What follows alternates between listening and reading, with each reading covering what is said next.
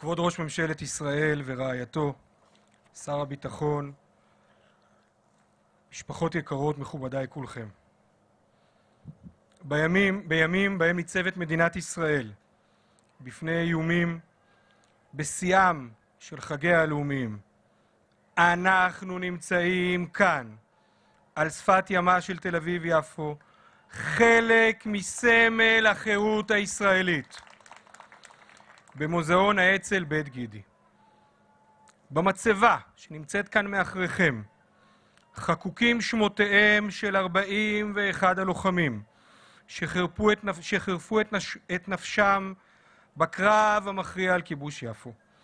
שמות החללים מייצגים את כל עמך ישראל, בני משפחות אשכנז, ספרד, צעירים וביניהם שתי צעירות, גיבורים שמסרו את נפשם על כיבוש יפו והגנת היישוב.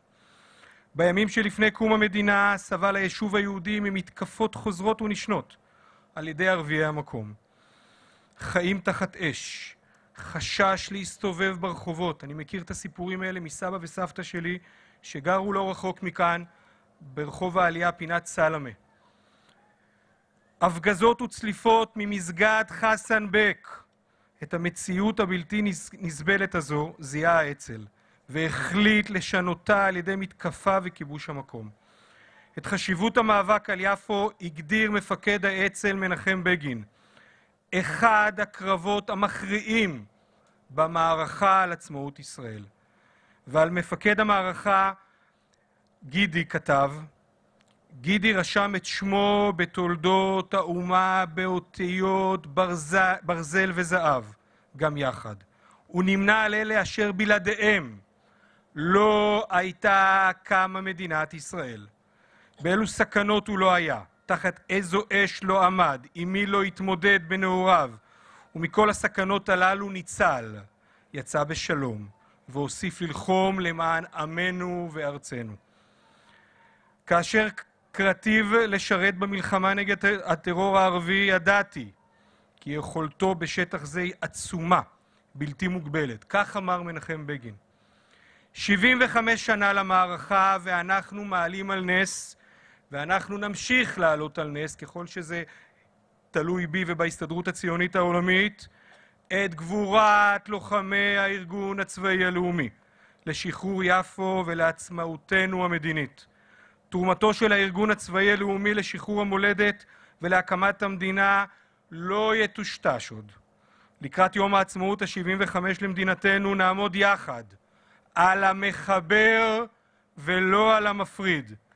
נזכור, נוקיר, נזכיר את כל אלה שחירפו נפשם למען חירות ישראל.